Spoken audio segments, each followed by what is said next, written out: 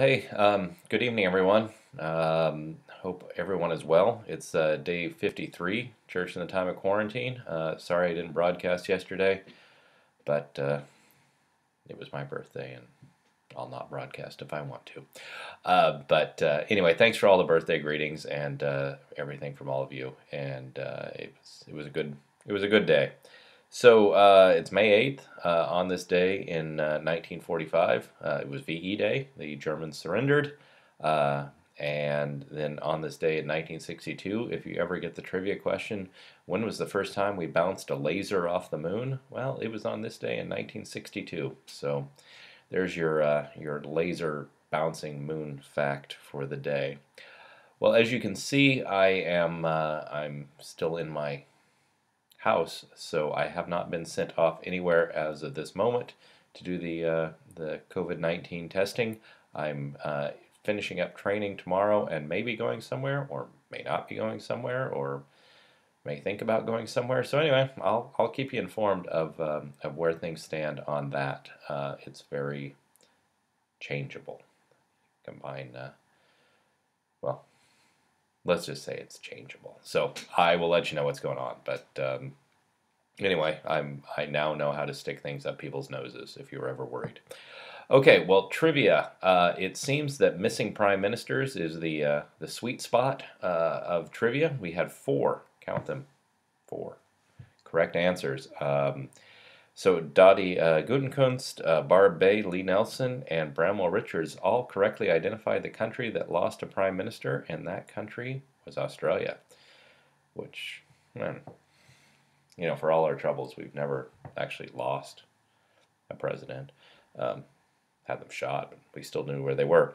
Okay, well, today's trivia, since it is VE Day, um, as you know, uh, on uh, April 30th of 1945, Hitler committed suicide so he wasn't around to surrender. Uh, so who was uh, who was Führer or president or the uh, the El Jefe um, at the time the Germans surrendered? So uh, if you got that name, uh, who was the uh, person that surrendered?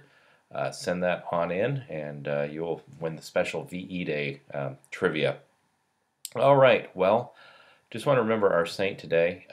it's it's Julian of Norwich. Um, you may have heard of her. Uh, unlike the Pennsylvania Dutch, she actually is from Norwich. Uh, but uh, so if you want to know a little bit about her, let me uh, let me just bring up a few facts. The one of the the fascinating things she lived um, 1343, uh, died 1416, and she has she wrote quite a bit, and actually her um, her works are the oldest surviving writings by a woman in the English language. And she lived pretty much her whole life in, in Norwich. She was uh, uh, an anchoress. Um, she had a cell uh, off in Norwich Cathedral, so basically a little room that you kind of get sealed into. She lived there a lot of her life. Uh, she wrote about, she had some revelations of the Passion of, of Christ and wrote about those things. She was kind of well known for her spiritual advice, so people would come and seek seek that out. Um, what I want to talk about just briefly today is uh, the time in which she lived was not um, not the happiest of times. Uh, born in 1343, um, from 1348 to 1350, uh, the Black Death uh, was ravaging England. Uh, that was followed shortly by the Peasants' Revolt because things weren't good during the Black Death, so she lived through that.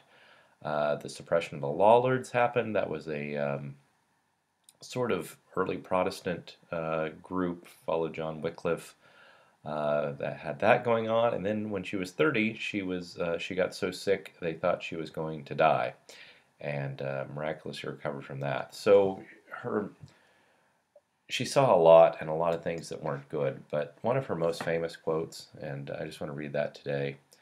Uh, she said, "All shall be well, and all shall be well, and all manner of things." shall be well. So, you know, just kind of think as we're going through uh, less than uh, pleasant times, remember Julian's words that all shall be well. So that's our saint for today. And uh, I'm going to end with a slightly self serving prayer, but uh, for those in the armed forces. So let us pray.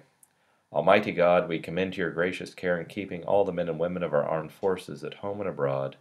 Defend them day by day with your heavenly grace. Strengthen them in their trials and temptations. Give them courage to face the perils which beset them. And grant them a sense of your abiding presence wherever they may be. Through Jesus Christ our Lord. Amen. Well, hope all is well, and talk to you soon.